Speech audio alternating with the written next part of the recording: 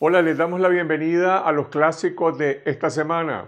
Cada viernes les presentamos entrevistas, reportajes e investigaciones de valor histórico y que a su vez son de interés y relevancia actual.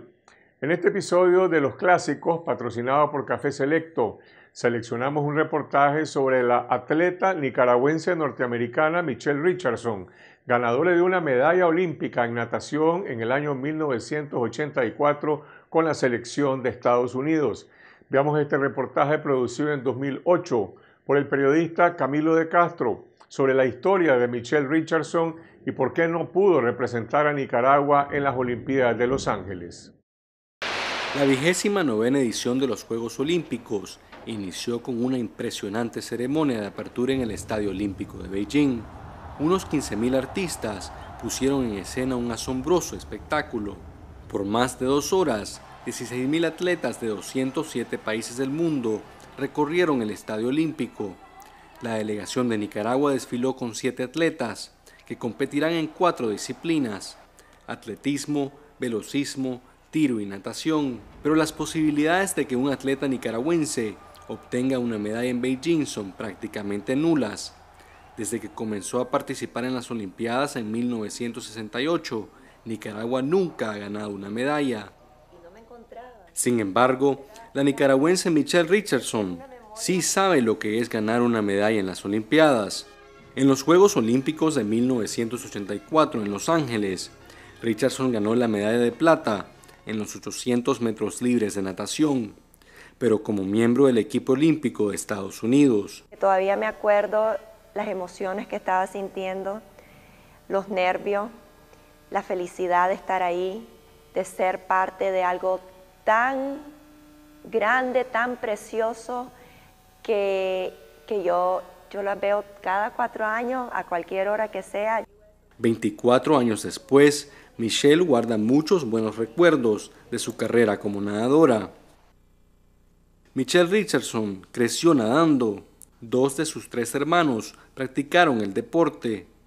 En 1976, su hermano mayor Frank Richardson fue el abanderado de Nicaragua en las Olimpiadas de Montreal. Era algo espectacular, una ilusión increíble para mí verlo. Y después, los días después que ellos regresaron de las Olimpiadas, lo veíamos. Pasaban el video todo el tiempo. Poco a poco, la joven desarrolló una enorme pasión por la natación. De la relación que tenía con Michelle en los eventos. Siempre andaba, agarraba la mano o lo andaba chineada. Enrique Mencía, entrenador de varias generaciones de nadadores, recuerda que Michelle comenzó a nadar a los seis años en la piscina del Colegio La Salle.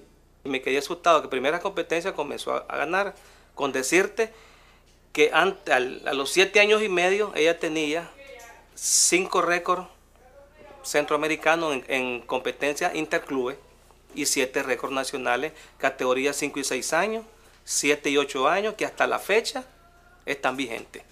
En medio de la guerra contra el régimen de Somoza, los Richardson se mudaron a Miami en 1977, pero Michelle no perdió la esperanza de algún día regresar a Nicaragua. Desafortunadamente me tuve que ir del país y estuve entrenando allá en la Universidad de Miami.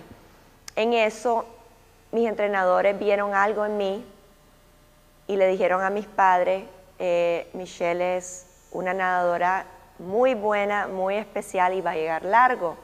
Después de ver en televisión las Olimpiadas de Moscú en 1980, la joven atleta tomó la decisión de prepararse para los Juegos Olímpicos de 1984.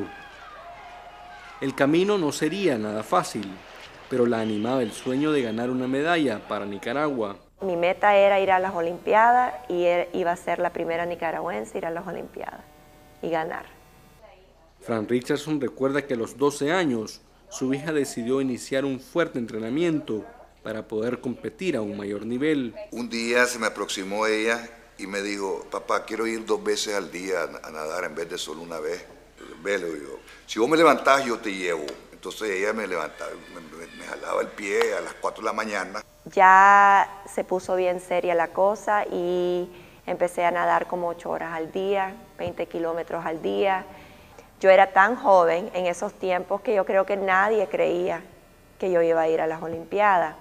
En poco tiempo, Las largas horas dedicadas a la natación comenzaron a dar frutos. Michelle logró posicionarse entre las mejores nadadoras del mundo.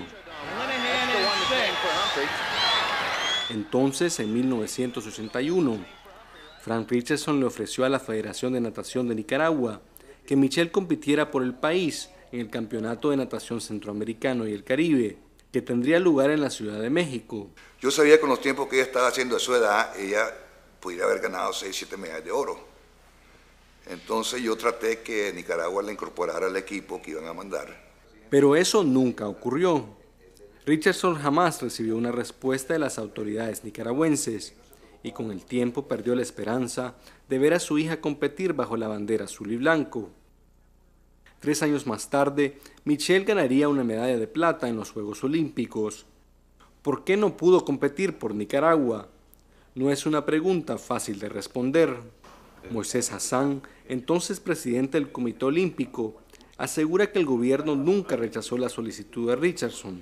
Según Hassan, en 1983, el Comité Olímpico le solicitó a Michelle que viniera a Nicaragua para someterse a una prueba que permitiría comprobar sus tiempos. La respuesta que nosotros recibimos fue de que la señorita Richardson no podría viajar a Nicaragua para ser sometida a prueba de que sí los eh, tiempos que pretendidamente hacía, en realidad los hacía. Y ahí terminó el asunto. Si te dicen cosas son salida de baño del error cometido políticamente sobre el deporte de este país.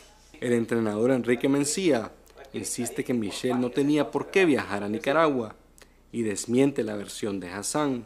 Para homologar un récord de otro país a otro país se necesita nada más el juez, el juez FINA de ese evento con la Federación de Natación, sello y firma del tiempo homologado en la competencia tal y la fecha y se reconoce en los países y eso más, más que suficiente. Frank Richardson mantiene que él nunca recibió alguna comunicación del Comité Olímpico. Yo creo que todo eso pasó menos que, que me avisaron a mí que la mandara.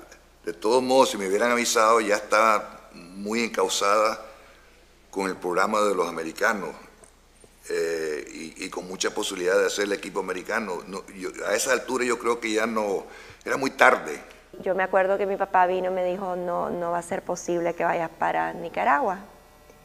Y me acuerdo que me puse a llorar porque, ala, entonces no voy a ir. Ese fue mi pensamiento en el momento. Yo dije, bueno, no va a ser posible. Y me acuerdo que él me dijo, Michelle, no hay nada que es imposible en esta vida.